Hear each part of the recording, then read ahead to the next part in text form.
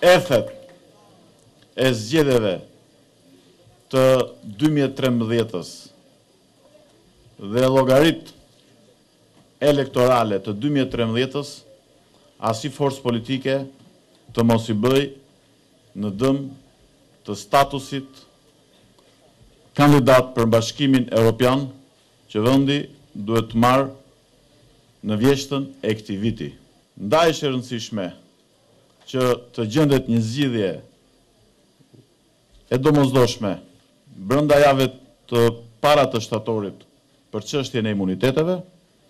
në mënyrë që të konsolidohet mundësia për marrjen e statusit kandidat, sepse përfitimet e Shqipërisë janë të shumta, ashtu sikurse